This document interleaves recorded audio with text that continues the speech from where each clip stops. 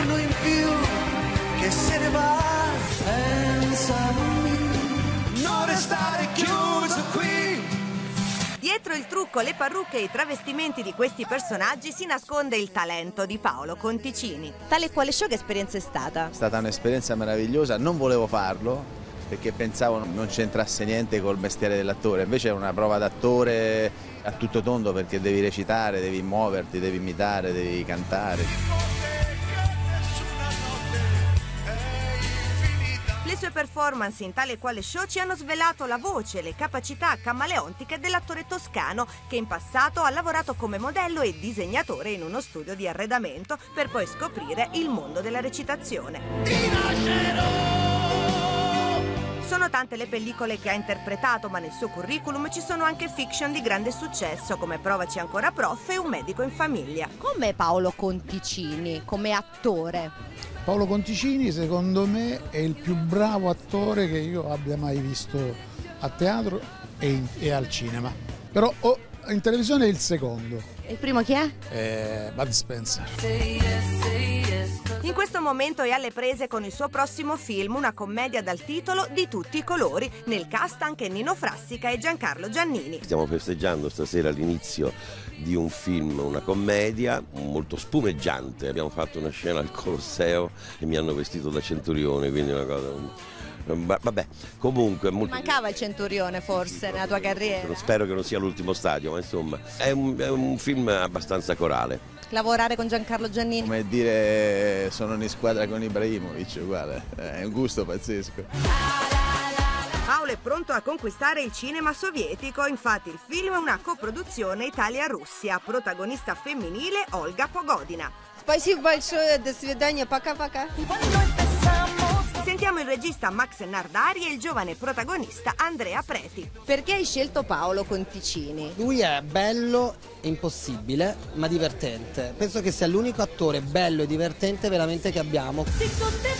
Cosa gli diciamo, Paolo, che ci sta sentendo in questo momento? Paolo, guarda che non ce la farai a mettermi sotto, te lo dico, ci sto provando in qualsiasi modo a sfuggirti e ci riuscirò, credimi. Sei un grande. E sulle note di Tubo Fall americano di Renato Carosone, Paolo Conticini. Eccolo che arriva. Ciao Paolo. A chi non fai fare. Tu vuoi vivere alla moda, ma se bevi whisky e soda, quando siete disturbati, guarda loro che non sorpresa. Devi ballare, eh? eh? No? Che applauso! Ciao, ciao, che roba! Quasi standing ovation! Prego Paolo! Ma è una sorpresa perché io non sapevo di, di tutte queste interviste.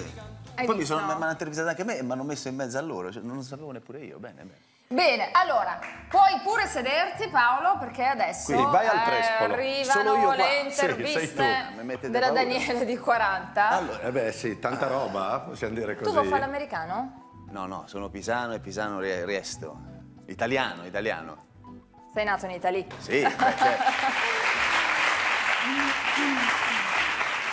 Noi ti abbiamo visto, no? Ultimamente a tale quale show tu hai interpretato tantissimi personaggi, un po' la vita dell'attore, quello, di- quello di entrare dentro il panne, eh, i panni di un altro. Ma tu sei più uno, nessuno, centomila. Pensa, mio nonno mi chiamava Ruffamondo perché ne facevo di tutte, e però non ne portava a termine una. E quindi eh, il mestiere di- di- dell'attore è un po' questo, no? Ti danno un, un ruolo da fare, naturalmente tu devi accettarlo e cerchi di farlo al meglio. Quindi posso essere tutti, però posso essere anche nessuno se lo fai male. Questo è vero, è vero.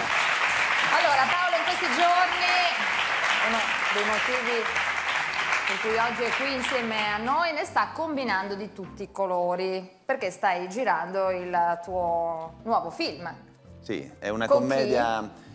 È una commedia molto carina, eh, con eh, dei nuovi attori. eh, Andrea Preti è un, eh, uno dei protagonisti e poi c'è Olga Pogodina, Pogodina, Pogodo- Ho sentito un accento diverso, io l'ho sempre chiamata Pogodina e invece ho sentito Pogodina, va bene. È una commedia mh, spumeggiante, credo, credo molto, molto divertente. Bene, allora ti facciamo il bocca al lupo. Crepi il lupo. Insieme a tutti gli attori, appunto, tutto il